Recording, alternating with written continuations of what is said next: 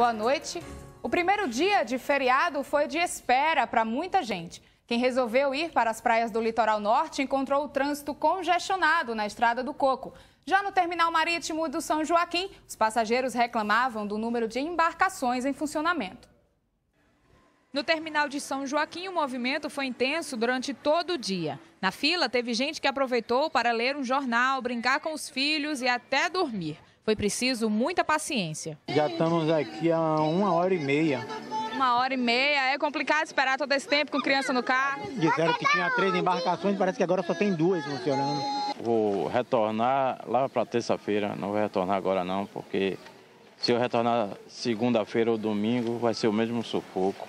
Este senhor está em Salvador a passeio e afirma que sempre que precisou utilizar o ferribote enfrentou as mesmas filas. Venho aqui esporadicamente, mas todas as vezes que eu já vim tive problema de fila.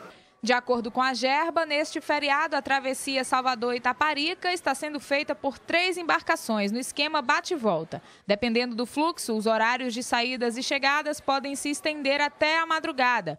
Duas lanchas reforçam o transporte de passageiros. Na Estrada do Coco, o trânsito foi intenso desde o início da manhã. Mesmo com a previsão de tempo nublado para todo o feriado, o baiano não deixou de pegar estrada para o litoral norte.